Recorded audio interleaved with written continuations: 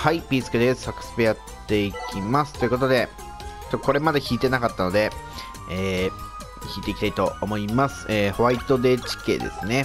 はい。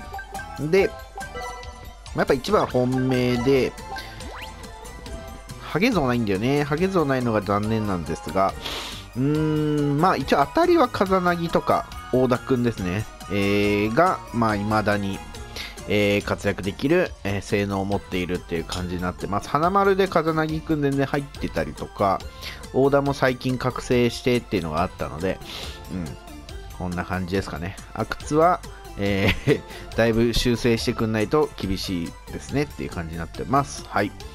個人的には大田かな？風なぎは50になってたはずなので、まあ、あと国樹が、えー、別バー待機で欲しいかなっていう感じです。お願いします。PR が入ってくれた。あざす。ホワイトデーとか言ってさほぼほぼ男しかやってない ゲームでホワイトデーをもらっていくっていうこのこのね若干気持ち悪い感じね。あざすっていう。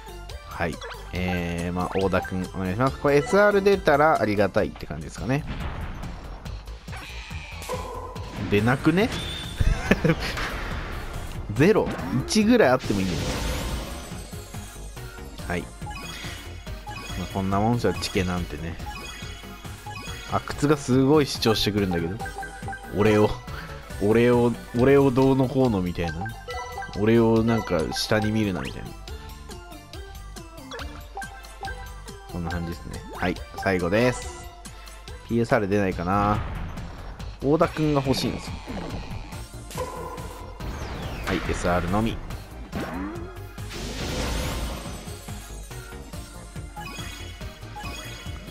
ああ、5部はありかな。箱崎はね、45年にはなってんので、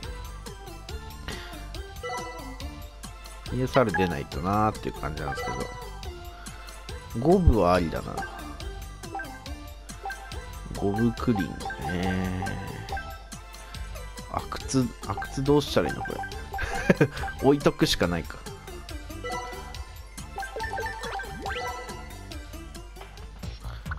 五分もあれかな